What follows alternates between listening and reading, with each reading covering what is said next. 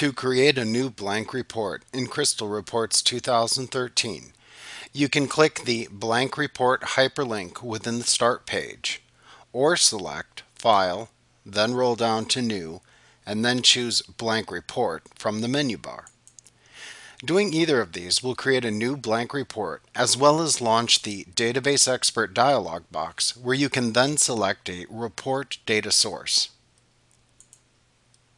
Also note that you could also click on one of the other report choices within the side menu that appears when you select File and then roll over the New command within the menu bar.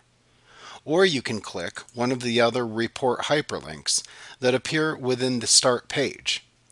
In addition to creating a blank report, you can also select either a standard report, crosstab report, mailing label report, or OLAP cube report from either the side menu that appears or within the hyperlinks in the start page to create a report of that type.